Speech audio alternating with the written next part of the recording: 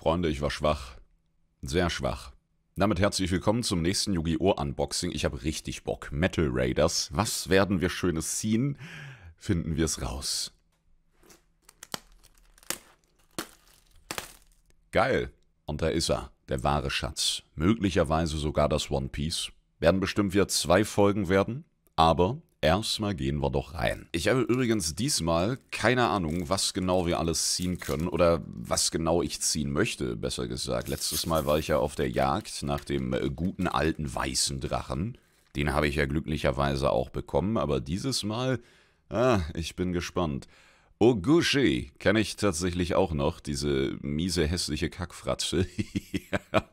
Leogun, oh schau mal, der hat sogar fünf Sterne oder was? Damn, König der Löwen, Junge, jetzt mit der besonders schweren Beschwörung. Die unglückliche Jungfrau. Es gab sogar damals schon Karten für WoW-Spieler.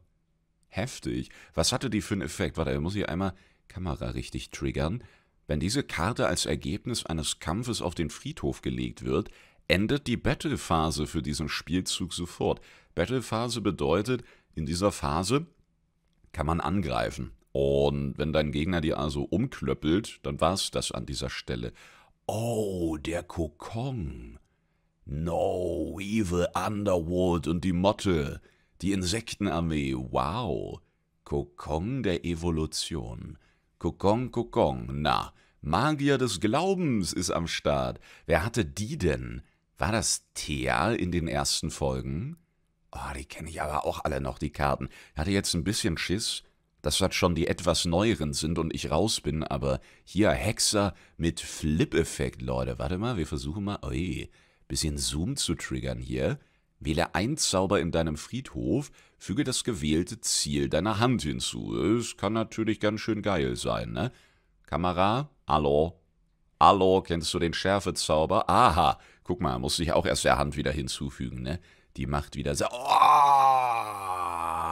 Boy im ersten Pack. Nein. Der Tausenddrache. Das habe ich immer so gefeiert im Anime. Mit diesem Zeitzauberer. Ich glaube, ganz genauso hat es dann im eigentlichen Spiel mit den Karten IRL nicht funktioniert. Aber da sind ja auch Sachen passiert, ne? Die Gegner wurden irgendwie dann künstlich zum Altern gebracht über diesen Zeitzauberer und sind dann verfallen, haben weniger Angriffspunkte gehabt. Die eigenen Monster sind quasi digitiert ne, oder haben sich entwickelt wie so ein Pokémon. Und auch hier der Tausenddrache als Fusion. Geil. Zeitzauberer und Babydrache. Wow, was für ein Draw. Sehr, sehr cool. Wollte ich früher auch unbedingt haben weil ich das im Anime ebenso cool fand. Und der Meeresgrundbewohner. Fisch normal, 1650 Angriff, auch wieder 5 Sterne. Sag mal, das ist schon ein bisschen Scam, aber den Bruder kenne ich ja auch noch. Geflügelter Drache, Festungswächter Nummer 1. Der wurde auch sehr, sehr gern gespielt. Ich glaube von Yugi selber sogar, oder? Da habe ich das Artwork immer sehr geliebt, weil er so angesprungen kommt. Im Hintergrund diese rötlichen Fäden. So ein Hintergrund hat gefühlt jedes zweite PvP-Thumbnail von mir oder Darkest Dungeon. immer wenn was los ist, ne, dann muss der Hintergrund explodieren. Und Doma, Engel der Stille mit diesem sympathischen Auge an der Schulter. Auch wieder fünf Sterne, ne? Also damit haben sie es irgendwie. Aber was soll ich sagen, Leute, das war ein Hammerpack. Das war da alles, was ich wollte von so einem Pack. Geil. Dann sind wir doch jetzt höchst gespannt, wie das nächste Pack so aussehen wird. Übrigens massives Shoutout an alle professionellen Unboxer, die nicht nur ihr Kamerasetup so hinbekommen, dass das Ding nicht regelmäßig durchdreht, wie auch es gleichermaßen schaffen, tatsächlich stets in der Mitte des Bildes zu sein. So, das schaffe ich nicht mal mit der Maus oder irgendwelchen sonstigen Sachen, die ich in Games zeigen will, wenn ich die aufnehme. Aber IRL jetzt nicht ständig hier und dahin zu ruckeln, ne? Abgesehen davon, dass die Kamera dann auch erstmal neu zentrieren muss, Bruder. Ich werde wahnsinnig. Der Donnerdrache. Jawohl. Ich dachte eigentlich immer, dass das so ein richtig massiver, normaler Drache ist, aber das ist so ein schlangenartiger, ne? Der Körper geht hier lang und dann dort rum. Und ich dachte immer, hier liegt so ein Teil in den Schatten und das hier ist nicht der Schwanz, der weitergeht, sondern ein Arm, der hier rauskommt.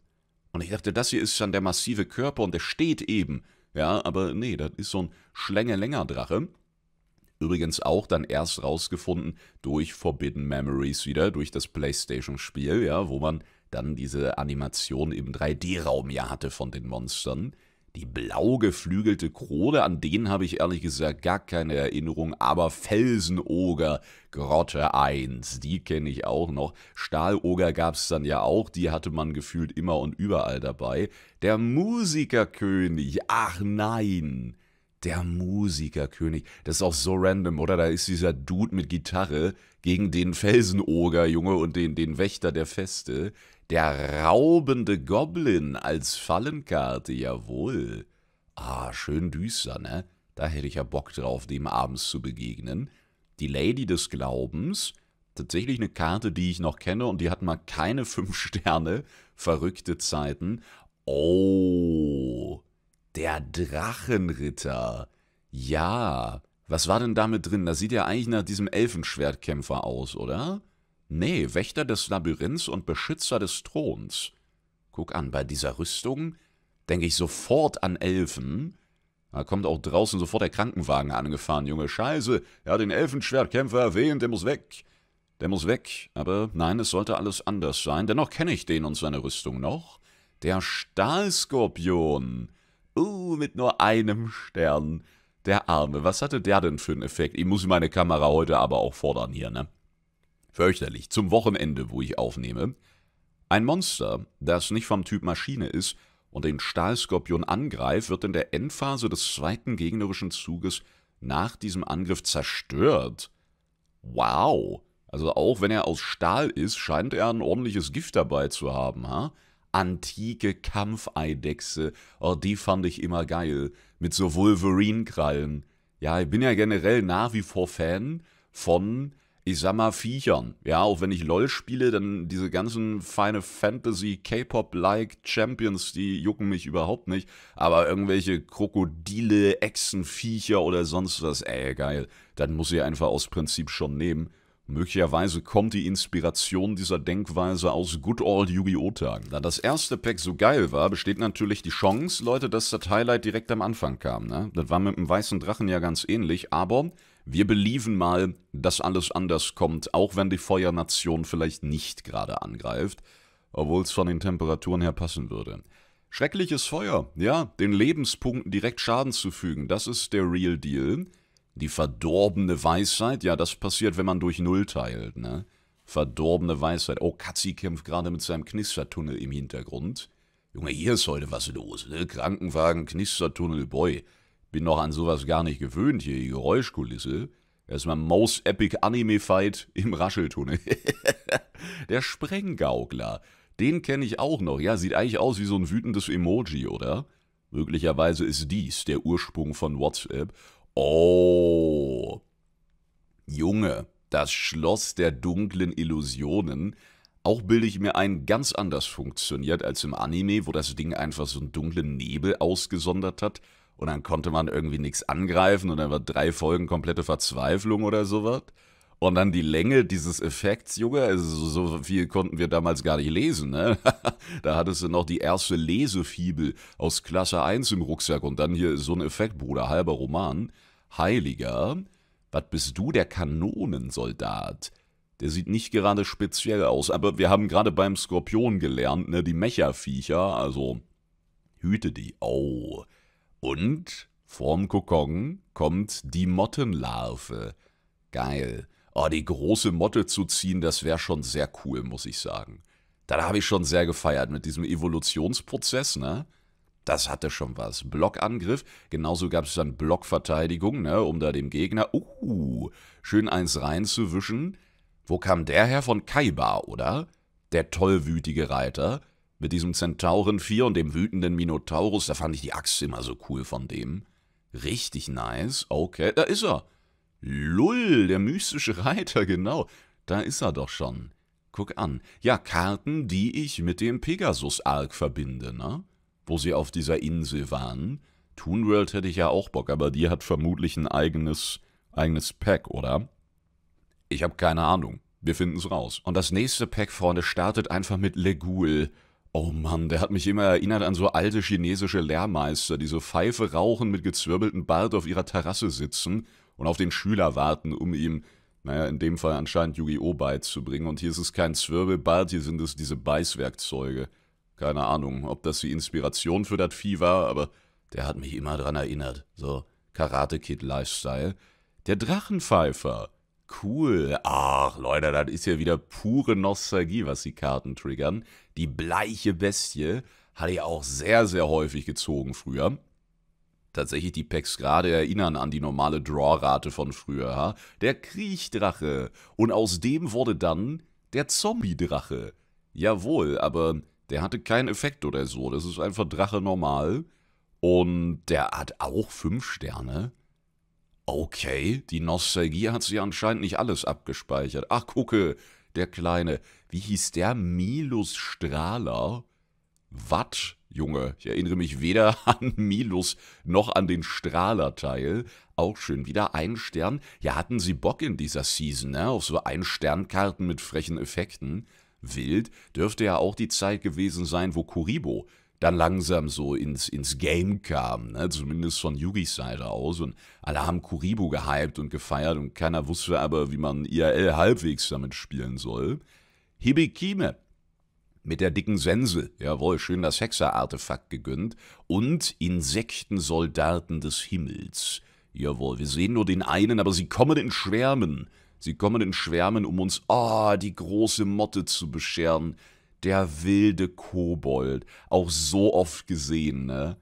Absolut schön. Und was für ein schönes Design auch, ne? Er wirkt schon erstmal nett, aber wenn du dann überall diese Stacheln und diese Klauen siehst, naja, dann muss ich den vielleicht auch nicht außerhalb der Karte haben. Und diesen wütenden Kriegeroper, ja, der ist so ähnlich wie Legul vom Gesicht her, nur der Bart ist anders. Ansonsten genau dasselbe Artwork. wie spricht man ihn aus? Kurji Kursi? Es passt aber nicht so, wie ich das sage, zu dem Aussehen, oder? Eiliger, naja, und da ist Legul wieder. Schön. Erinnerungspack. Ehre. Dann sind wir schon fast bei der Hälfte. Das fünfte Pack, das Schwert der tausend Wahrheiten. Nein, der tiefliegenden. Achso, tiefliegenden, ne? Nicht fliegenden, wollte schon sagen. Flugverbotszone, hallo, oi. Der Labyrinthpanzer. Junge, mit diesem Labyrinth, wo war das bei den Gebrüdern Paradox? Ah, so Torwächter und der ganze Bums wollte man früher auch immer unbedingt haben, ne? Und wenn du Glück hattest, dann hattest du gerade so einen von den Sangern des Windes oder wie sie hießen. Aber Torwächter an sich, alle Einzelteile zu haben und den dann zur Beschwörung zu kriegen, na, Bruder, da wurden vorher die Zauberkarten gespammt, die dir direkt Lebenspunkte Schaden zufügen und Endstation die kaiserliche Richterin. Das sind alles so Karten, die haben existiert, habe ich aber nie irgendwen spielen sehen. Never ever. Aber vielleicht ist ein gutes Zeichen, dass wir direkt am Anfang zwei etwas dickere Karten ziehen. Oh, die Hexe vom Schwarzen Wald mit diesem Auge oben dran. Ja, erinnere ich mich auch. Und dieses Auge habe ich immer gar nicht so wahrgenommen. Da am Hals ja auch, ne? Na, das wurde auch erst durch Forbidden Memories in mein Gesicht gehauen, dachte, das ist einfach nur eine nette Dame, weißt du. Und dann kommt der Scheibenzauberer.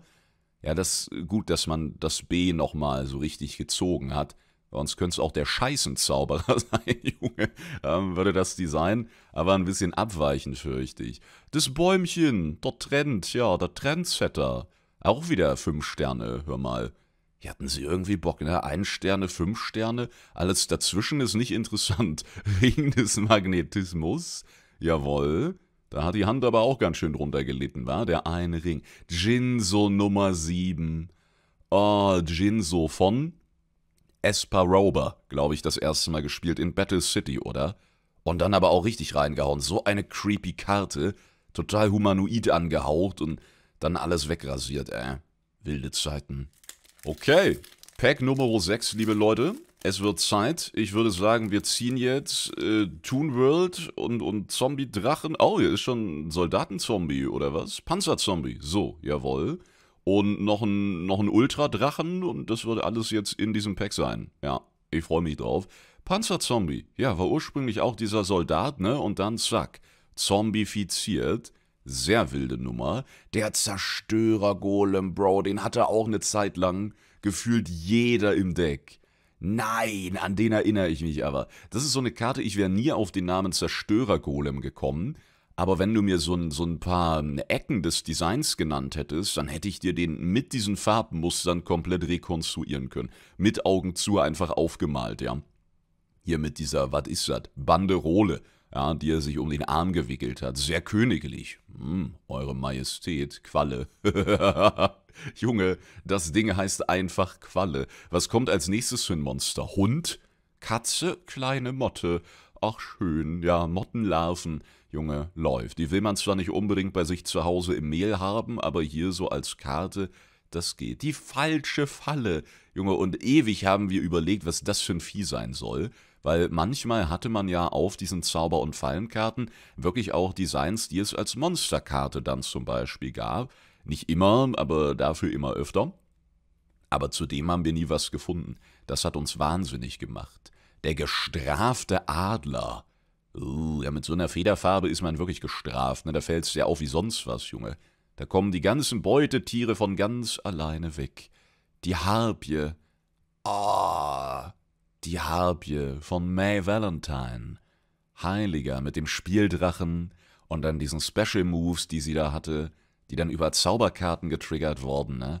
Das war auch cool. Ich war kein Fan von ihr und ihrem Deck. Ich fand Harpien an sich sehr langweilig, aber wenn die aufgedreht haben, boy, dann geh besser in Deckung. Und die Panzerechse, wieder mit zum Hintergrund, ne? Könnte wieder PvP-Thumbnail sein, Junge. Da wussten sie genau, was sie tun. Ja, und Echsen, ich bin natürlich Fan, ne? Oh, der König der mythischen Bestien. Gazelle, war das auch bei Yugi mit im Deck? Diese Bestiengeschichte? Ich weiß es nicht mehr, aber die Karte hat man häufiger gesehen, auch im Anime bilde ich mir ein. Die hatten wir weniger auf dem Schulhof, dafür haben wir aber ein nächstes Pack. Ob mit oder ohne Schulhof drin, ja, kommt gleich ein bisschen Sand rausgerieselt. Junge, ich verzichte. Na, einen geilen Draw werden wir schon noch haben in dieser ersten Runde, oder? Oder heben wir uns alles für die zweite auf? Hm, wer weiß das schon. Yadokaru, nie gespielt, aber kenne ich tatsächlich auch noch mit diesem wunderbaren Häuschen. Also Einsiedlerkrebse habe ich damals anders kennengelernt, aber gut, äh, Panzerzombies habe ich zum Glück gar nicht kennengelernt im Bio-Unterricht. Der antike Elf. Ach nein, vier Sterne, ja? Vier Sterne, Wahnsinn mit diesem Zylinder auf dem Kopf. Ich erinnere mich, war das nicht sogar auch bei Thea so? Es gab doch dann diese Folgen, wo sie in diese Battle World reingesogen wurden. So ein bisschen wie Sword Art Online. Und dann mussten sie dann Partner wählen. Und hatte Thea nicht einfach nur Frauen gepickt, ohne auf Angriff und so zu achten? Oder waren dann diese ganzen Elfen und Hexen in einem Deck? Ich weiß es gar nicht mehr. Und das haben sie gemacht, weil sie sich in dieser Battle World, in dieser ja, WoW-like Welt, ne, damit irgendwelchen Vorständen duelliert haben und wenn die gewonnen hätten, diese Vorstände, dann hätten die die realen Körper von Yugi und Co. bekommen. Was war das eigentlich für, für ein weirder Scheiß? Vielleicht irre ich mich aber auch, maybe. Manchmal, ne, die Erinnerung, wir merken es hier, spielt einem ja auch einen Streich. Gigatech-Wolf. Ui, fancy. Junge, dieser verdammte Stern.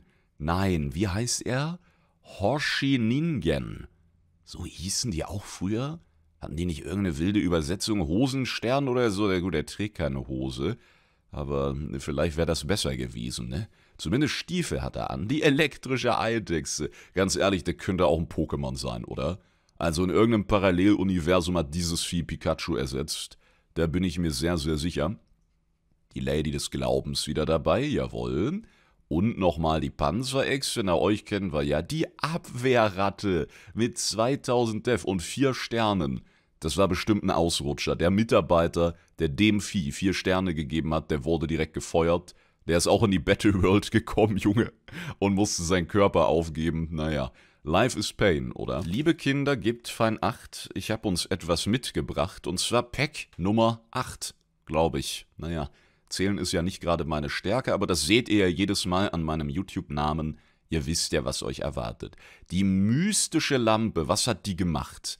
Hing die mit dem Genie irgendwie zusammen? Den hatte Kaiba, glaube ich, auch immer, ne? Hallo, Dankeschön. Diese Karte kann die Life Points deines Gegners direkt angreifen.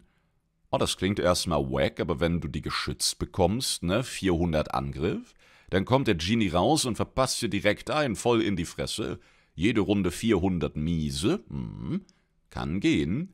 Dann haben wir die brüllende Seeschnecke. Warte, steht da wirklich Schnecke? Sorry, aber ist das nicht eher eine Schlange? Bin sehr verwirrt. Eine Schneckenschlange. Naja, gut, Nacktschnecken können ja auch so ein bisschen langgezogen sein, ne? Vielleicht, wenn man die ins Wasser kickt, dann mutiert die nochmal. Der Magier des Glaubens. Okay, I take it.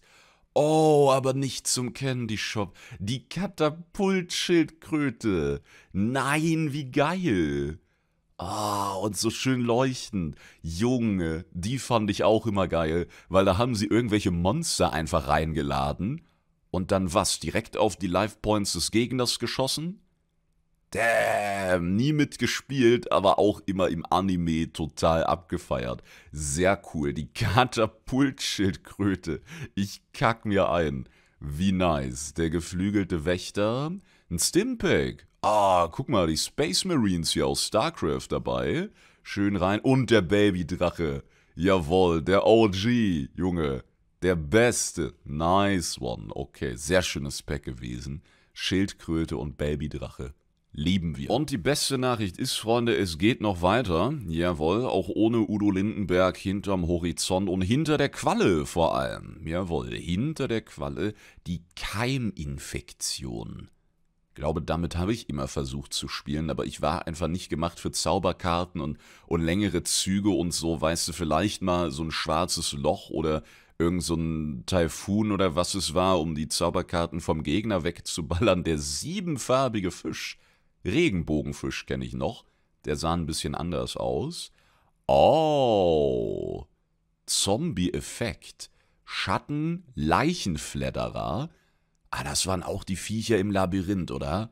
Da gab es auch noch so einen, wie hieß der, Labyrinthschrecken? Nee, bestimmt irgendwie anders. Der dann so aus der Mauer kam, ne? Und dich angreifen konnte. Das mit dem Labyrinth, das war auf jeden Fall Peak Fiction.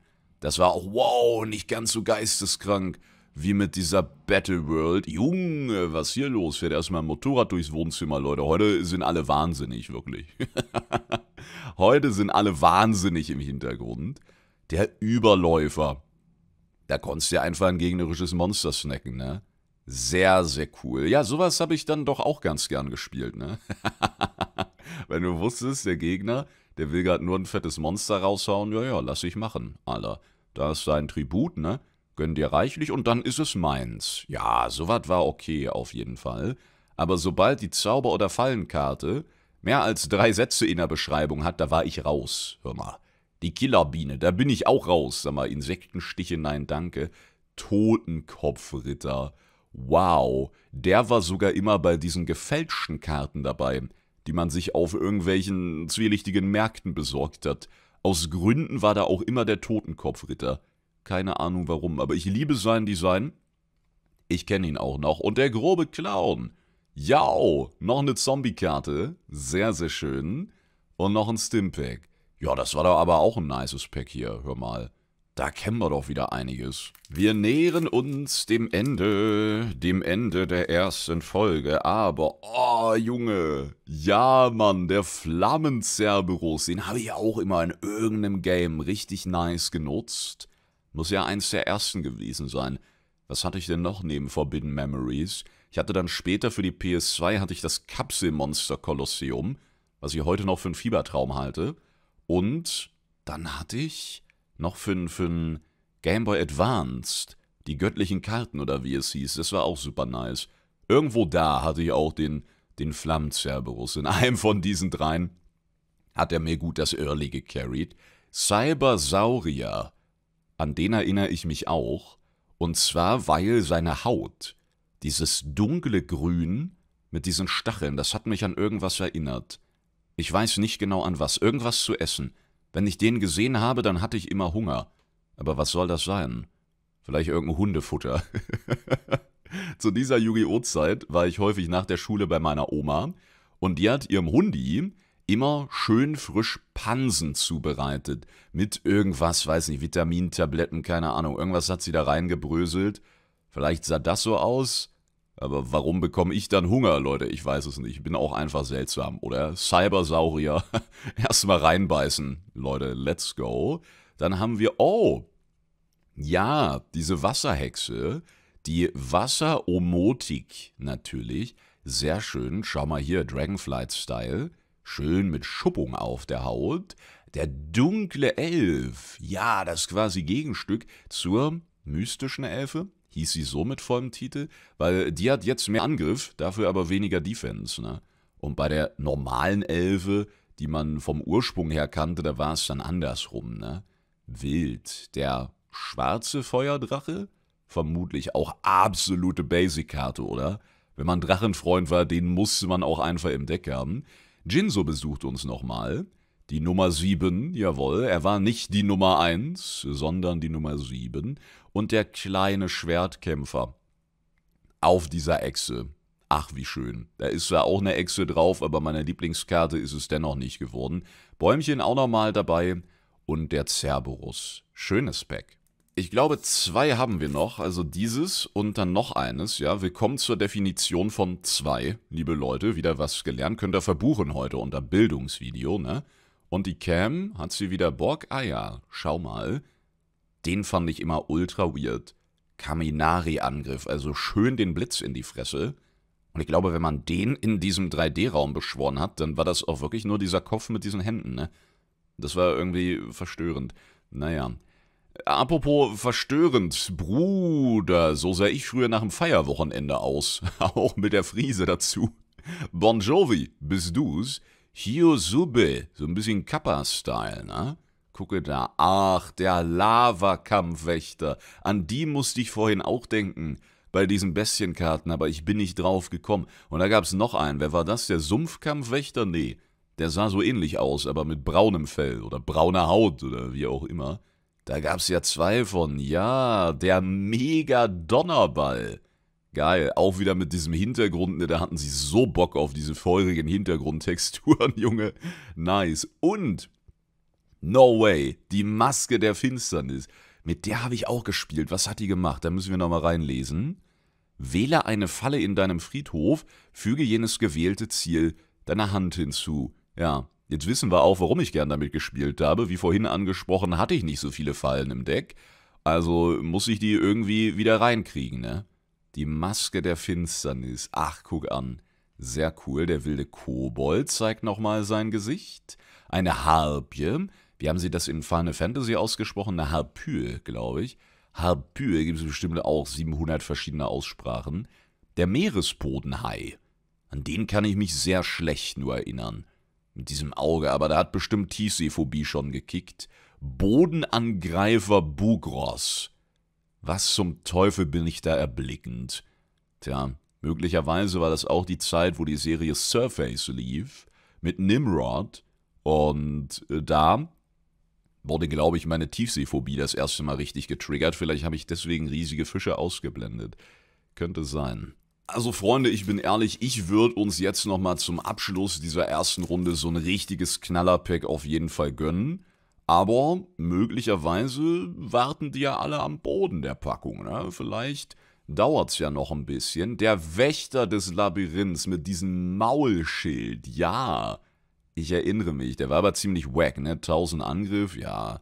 Ich meine, sind auch nur vier Sterne, ne? Der Unsterbliche des Donners, vor dem hatte ich immer ein bisschen Schiss, Mann.